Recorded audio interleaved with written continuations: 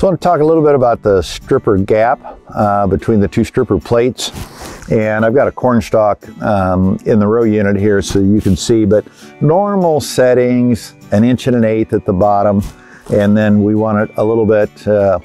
narrower at the, uh, or a little wider at the top so that the corn stalk can make its way out of the channel. So like an inch and 3 sixteenths um, at the top is, is great. But if they're hydraulically adjustable, the other thing we want to do is make sure that when we set them,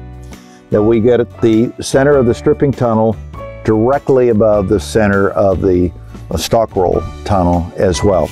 But the other thing you can do that's the old-fashioned method that I used as a kid is just simply grab the corn stalk out of a field, cut it off, bring it over here, and just make sure that the stripper gap is, is wider than the corn stalk.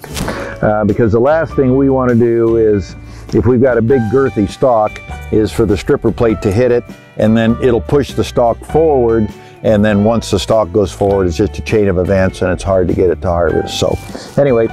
make sure that the stripper gap is always wider than the corn stalk that you're harvesting.